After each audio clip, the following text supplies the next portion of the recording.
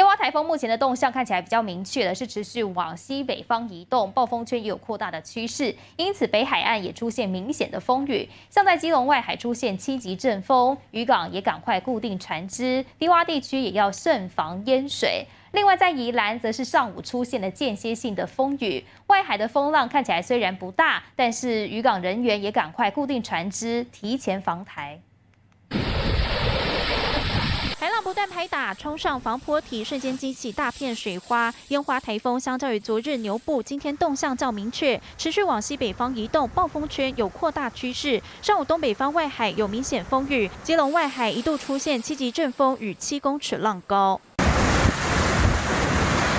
来到朝境公园，天空乌云密布，海面风浪逐渐增强。八斗子渔港渔船宛如绑粽子，做好固定，全力防台。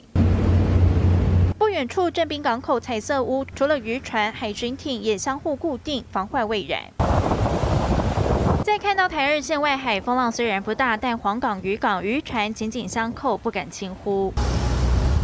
台风除了让人感受到风雨，市场生意人也体验到何为冷清。好不容易为解封，没想到又有台风来搅局。有些人不会来啊，还有还有鱼啊，还有螃蟹、虾子啊，对啊，所以要加紧卖。转到宜兰，上午市区出现间歇性风雨，海边风浪不大，但是苏澳与大溪渔港全都做好固定作业。不论台风来不来，会不会有影响，只希望将损失降到最低。记者蔡志恒、李科燕，基隆宜兰报道。